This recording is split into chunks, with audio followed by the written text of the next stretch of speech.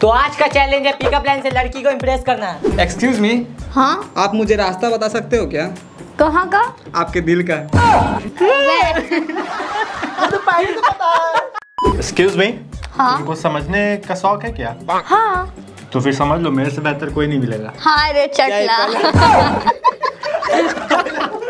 Excuse me हाँ बोलो। तुम धूप हो क्या?